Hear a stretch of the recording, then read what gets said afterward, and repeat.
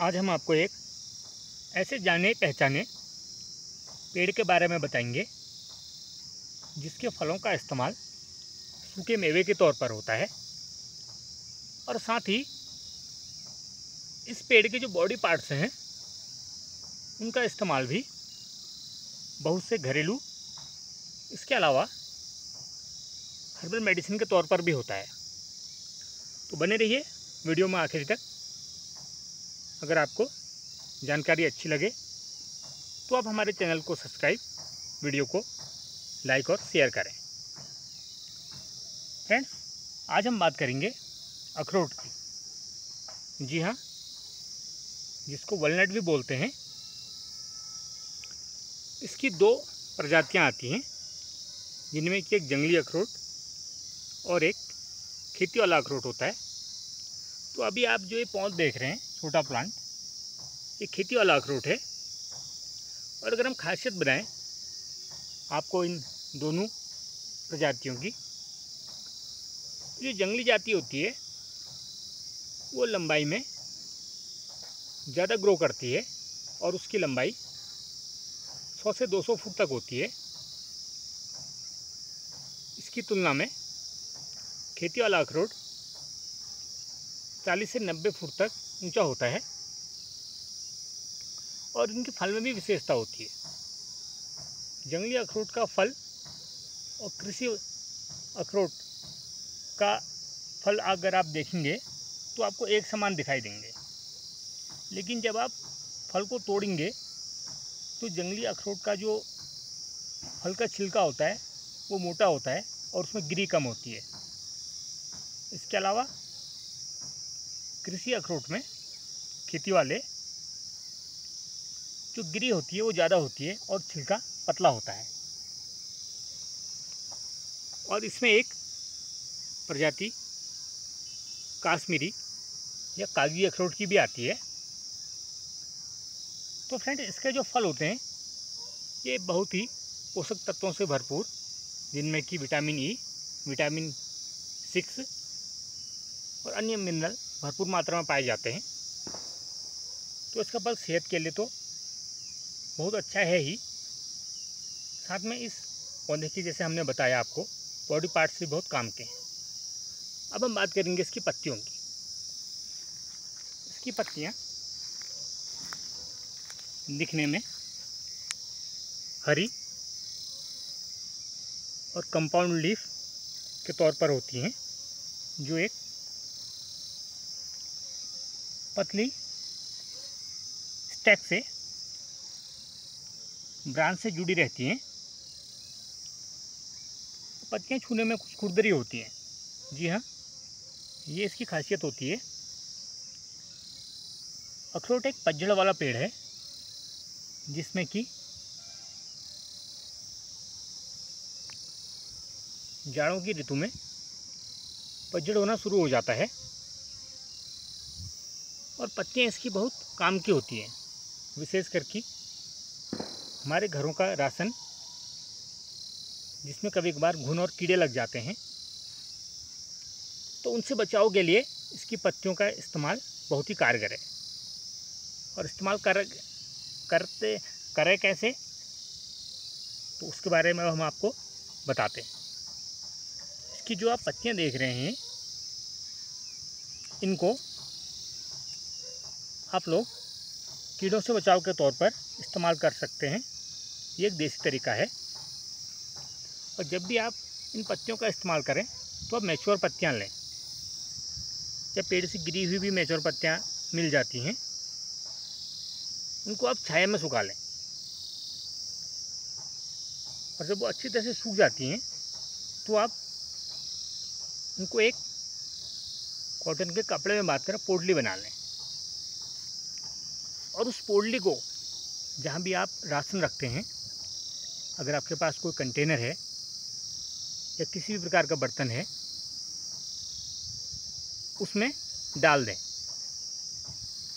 और अगर ढक्कन बंद करने की व्यवस्था हो, या आप उस बर्तन में ढक्कन भी लगा सकते हैं, बड़ा बर्तन है तो भी आप उसको ढकने का इंतज़ाम करें। और आप देखेंगे, जब आपने वो पोडली राशन के अंदर डाल दी है और उसको आपने बंद कर दिया है तो कुछ ही दिनों में राशन में से या जो खाद्य सामग्री आपने रखी है, उसमें से कीड़े खुद ब खुद निकल जाएँगे या फिर मर जाएँगे। और अगर आपने राशन का कंटेनर ऐसी जगह में रखा हुआ है जहाँ पर कि नमी नहीं आती है और जहाँ पर सीलन ना हो। तो आपके द्वारा बनाई गई एक ही पोटली दो या तीन साल भी अच्छी तरीके से काम कर सकती है। वैसे तो आप हर साल नई पोटली बना के बदल लें। तो ये तरीका तो हो गया फ्रेंड्स, राशन को कीड़ों से बचाने का। और हम दूसरा तरीका बताते हैं। जैसे कि आप लोगों ने देखा है, बरसात के सीज़न में या जो हमारे भाई बहन खेतों में काम करते हैं तो हमारे पैरों की उंगलियों के बीच में सड़न, लालिमा और जलन हो जाती है और उसमें खुजली भी होती है और दर्द महसूस होता है। तो ऐसे अगर आपको लक्षण या शिकायत दिख रही है उसमें भी इसकी पत्तियाँ बड़ी कारगर होती हैं। और इनका इस्तेमाल आप करेंगे कैसे? उसके लिए आप इस अखरोट की पत्तियों को, तरीका वही है, छाया में सुखा लें, इकट्ठा कर लिया आपने, या तोड़ लें या टूटे हुए आपको मिल जाएँ। उसके बाद आप इन पत्तियों का पाउडर बना लें। पाउडर बना के भी अगर आप रख लेंगे तो या दो या से तीन साल तक यह पाउडर भी काम करेगा।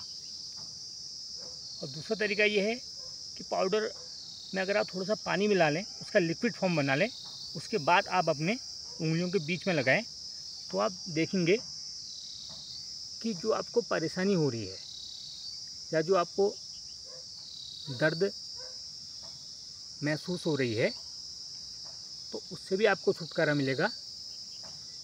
और उस जलन के अलावा जो सड़न से घाव बन गया है वह भी तीन चार दिन के रोज़ाना इस्तेमाल के बाद जल्द ही भरने लगेगा। और आप लोग ये कोशिश करें, जो आप पत्तियों का पाउडर या पेस्ट इस्तेमाल कर रहे हैं, उसको रात को सोते समय इस्तेमाल करें। क्योंकि उससे ये होगा कि जब आप अपने घर के कामों को निपटा के, या जो आपके बाहर के काम भी हैं, उनको निपटा के जब रात को आप फ्री हो जाते हैं तो उसके बाद आप अपनी उंगलियों के बीच में लगा लें, जिससे कि दवा को अपने काम करने का समय मिल जाएगा और सुबह आप दवा को, जो आपने पत्तियों से बनाई है, धो भी सकते हैं। ये आपको समय मिल रहा है दिन में भी तो आप दो तीन घंटे के लिए दिन में भी इसको लगा सकते हैं। बसरते ये है कि दवा उंगलियों के बीच में कुछ घंटे तक बनी रही है। तो आप देखेंगे, कुछ ही समय में आपको परेशानी से मुक्ति मिल जाएगी। तो फ्रेंड्स, ये तो हुए दो तरीके जो हमने अभी आपको बताए। एक, राशन के लिए और दूसरा, दवा के तौर पर। और ये पेड़ अन्य महत्वपूर्ण काम में भी आता है। जैसे कि पोषक तत्व से तो इसके फल भरे हुए होते ही हैं। साथ में इस लकड़ी का इस्तेमाल जो इस पेड़ की है, जो हमारी बंदूक हैं, उनके कुंदे बनाने में किया जाता है, पुराने समय से ही। क्योंकि ये टिकाऊ और वेल फिनिश्ड मानी जाती है और छोटे पौधे जो होते हैं, आप देख रहे हैं, उनका तना कुछ चिकना होता है देखने में। ये देखिए। और अभी हम आपको इसका नेचुरल पेड़ भी दिखाते हैं।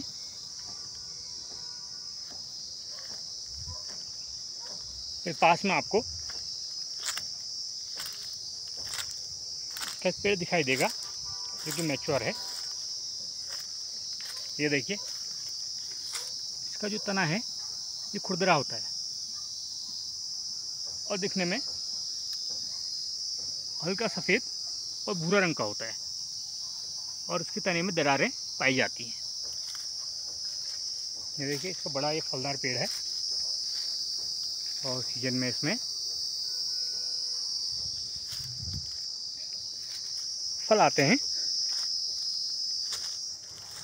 तो भी फल आके इसके गिर चुके हैं। क्योंकि अब गाड़ी का सीज़न शुरू हो गया है। ये देखिए।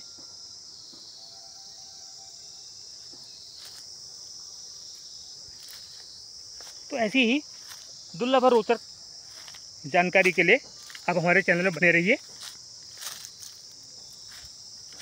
थैंक्स